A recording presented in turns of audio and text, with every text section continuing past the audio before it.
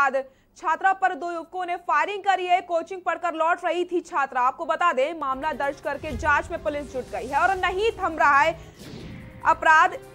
छात्रा पर दो युवकों ने फायरिंग करी है। आपको बता दें, छात्रा कोचिंग से घर लौट रही थी और उसी समय अपराधियों ने उसको अपना शिकार बनाया और उस पर फायरिंग कर दी है।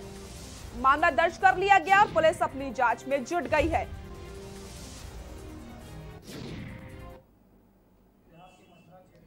लालगढ़ी का मामला है।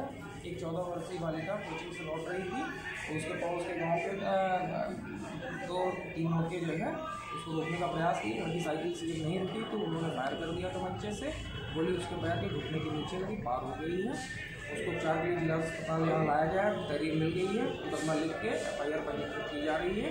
इसके अलावा जो है, अभी दोनों की गिरफ्तारी है। निकाल रही है।